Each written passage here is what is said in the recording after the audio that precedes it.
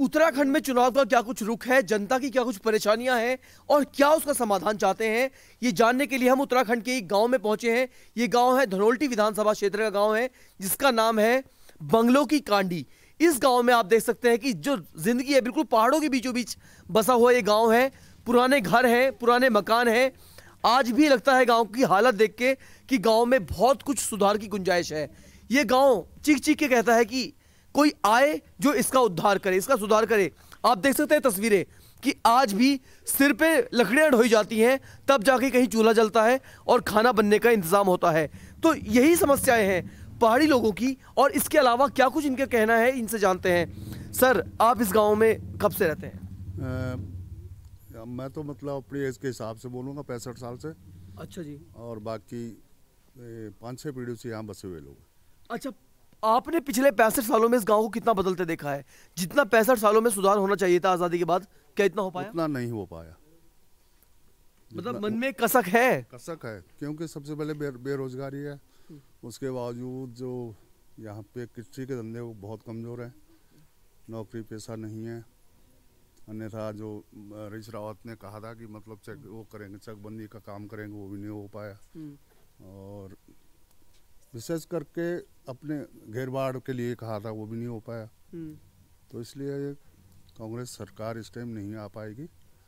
जो रुझान ऊपर से है समझ लो कि मोदी का जो बोलबाला चल रहा है इस टाइम भ्रष्टाचार के लिए वो अच्छा है। चलिए इनकी जो समस्याएँ इन्होंने अपनी समस्याएँ बताई हैं कि खेती से जुड़ी हुई समस्याएँ हैं विकास से जुड़ी हुई समस्याएँ हैं इनसे जानते हैं नौजवान कुछ हमारे साथ हैं।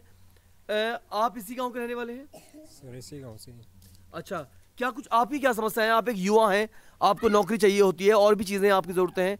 क्या आप हर तरह से खुश हैं? कहाँ खुश है सर? नौकरी से परेशान है कोई धंधा नहीं है हमारे पास। सभी चीज़ से परेशान है। क्योंकि बेरोजगार बैठे हुए नौकरी की तलाश है बस। इसी में लगे हैं कि ताकि नौकरी मिल जाए। तो बस। आप कुछ कहना है? आप क्या कहना चाहते हैं? क्या कहें जी खेत आप लगाते हैं कि गाँव में अगर कोई रहता है खेती बाड़ी करने पे मजबूर हो जाता है है ना? खेती बाड़ी करता है लेकिन जब वो खेती बाड़ी करता है तो उसकी फ़सल का जो मतलब जितना उसका बिक्री होना चाहिए उतना नहीं हो पाता है। उससे भी बहुत कम रेट में। मतलब किसान खेतों में अगर कोई फ़सल को मतलब कीमत पे लाता है अगर उसको लगाता है तो उससे कम रेट में उसको उधर खरीदा जाता है। मगर ऐसे क्यों होता है कि इधर महँगा मिलता है और उधर जब उसको बेचते हैं तो उसको आधे रेट में देने पड़ता है। ऐसे क्या कारण है कि जो हमारी फ़सल को जो आधे कीमत पे ही खरीदा जाता है? तो ये एक दर्द बताया है एक किसान का दर्द है जो कि कोबरा पोस्ट के कैमरे पे किसान ने बयां किया। और भी कुछ लोग हमारे साथ हैं। आपको बता दें कि आज कोबरा पोस्ट का एक मंच तैयार है और ये मंच लगाया गया है उत्तराखंड के एक गाँव में एक छोटा सा इंटीरियर में गाँव है। और ये गाँव है धनोल्टी विधानसभा क्षेत्र में। महिलाएँ हमारे साथ हैं। महिलाओं जानते हैं। अम्मा जी क्या कहना चाहेंगे। आप कुछ बताना चाहेंगे? कुछ समस्याएँ आपकी हो? अम्मा जी क्या समस्या है? समस्या बताएँ। अब अब हम क्या बता सको? जो मन में है जो है सब बस। न किसी ने करना कुछ। है महँगाई ज़्यादा बढ़ रही है। अच्छा। वो लड़का कहता रहा हमारा कि उधर तो हमारी फ़सल जाती है सस्ते रेट में इधर हम सब्ज़ी लाते हैं तो महँगे रेट में आती है। हमारे लिए क्या कुछ नहीं है। नौकरी संबंध में कुछ नहीं है यहाँ। बच्चों को हमने पढ़ाया लिखाया पता नहीं कैसे कैसे पढ़ाया होगा।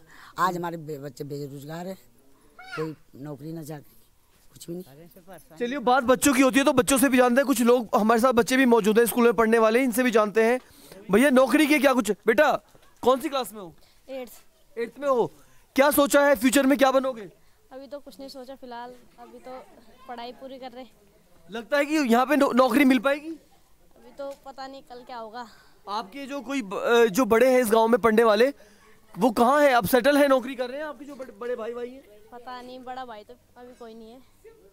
चलिए खैर बच्चे हैं ज़्यादा जानते नहीं है कह नहीं पाते हैं अपनी बात बता नहीं पाते हैं तो मंच पे एक बार वापस लौटते हैं और इनसे बात करते हैं। सर क्या कुछ मांग होगी? इस बार के चुनाव में क्या मांग मांग यही है महँगाई ज़्यादा हो रही है हम सोचे कम हो रही है तो ज़्यादा महँगाई हो रही बढ़ रही है ऊपर। समय में बारिश नहीं होती है फ़सल में कुछ गाँव में कुछ नहीं होता। है उसको बोते रहे इधर होता नहीं है फिर। हम सोच रहे महँगाई कम हो महँगाई और बढ़ रही है ऊपर। आज चीनी है कितने रुपये किलो हो गई। और ऊपर ऊपर बढ़ रही है। सब चीज़ महँगाई हो रहा है आटा चावल सब महँगाई हो रही है। तो देखिए किसान ही आटा चावल चीनी उगाता है और किसान ही फिर उसे महँगे रेटों में खरीदता है। एक बड़ी विडंबना है किसान की। और क्योंकि गाँव में आए हैं तो किसान ही सबसे बड़ी बात है कि किसानों का दर्द तो सुनना पड़ेगा। और भी कुछ लोग हमारे साथ मौजूद हैं इनसे भी जानते हैं। एक महिला हमारे साथ हैं। भैया आप कुछ बताया क्या कुछ समस्याएँ हैं? कुछ नहीं पता। चलिए इनसे पूछते हैं। आप जैसे डेली गाँव में रहते हैं क्या कुछ समस्याएँ हैं आपकी? बता दीजिए। चलिए इनसे जानते हैं। आपकी कुछ समस्याएँ होंगी? आप इलेक्शन का माहौल है नेता बड़े बड़े वादे करते हैं। तो जो पहले वादे कर किए गए थे वो पूरे हुए? न पूरे क्या हुए? यहाँ पे मेन समस्या बेरोजगारी की बेरोजगारी समस्या है। युवा लोग काफ़ी जो पढ़ लिखे हैं सर्विस नहीं लग पाती है। तो इससे लोग क्या करते हैं कि उम, पलायन करते हैं। युवा लोग यहाँ जाते हैं कोई दिल्ली जाता है कोई बॉम्बे जाता है फिर वहाँ जाके छोटी मोटी नौकरी करता है तब जाके अपना जो है जीविका चलाता है। तो ये सरकार के ऊपर बहुत बड़ी मतलब ये समस्या है कि सरकार इस पर कोई ध्यान नहीं देती है। जब यहाँ पे नेता कोई जीत के चल जाता है तो फिर अपने देहरादून या अपने उधर ही सेटल हो जाता है।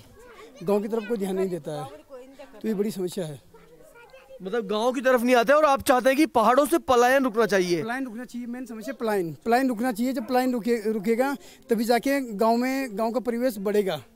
गाँव कई गाँव खाली हो रखे हैं इसी वजह से खाली हो रखे हैं कि गाँव में कोई रोज़गार का कोई साधन नहीं है। आपको जो पहले वादे किए गए थे वो पूरे हुए आज तक? नहीं पूरे तो नहीं हुए। हैं इस बार की क्या कुछ आपने क्या सोच के सोचा है कि किसे वोट करेंगे आप? इस समय हमारा जो मेन मुद्दा यही है हम सरकार से यही चाह रहे हैं कि सरकार जो भी बने युवाओं के बारे में सोचें और पलायन जो पलायन हो रहा है इस पर कुछ सरकार काम करें कि पलायन ना रुकें। गाँव में कुछ ऐसे उद्योग स्थापित हों जिससे लोग एडजस्ट हों वहीं पे और लोगों को रोज़गार मिले। तो रोज़गार बड़ी समस्या है। रोज़गार अगर पहाड़ों में रोज़गार होगा तो शायद पहाड़ों से पलायन रुक जाएगा और यहीं का दिमाग यहीं पे इस्तेमाल होगा।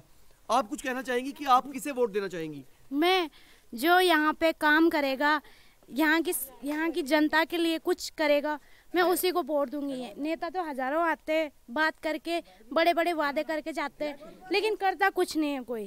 ठीक है, पहली बात तो ये है आगे से राशन भी आ रही है राशन तो आती है लेकिन सबको नहीं दिया जाता। जब तक आगे से लिखा हुआ नहीं आएगा तब तक किसी को राशन नहीं मिलेगा।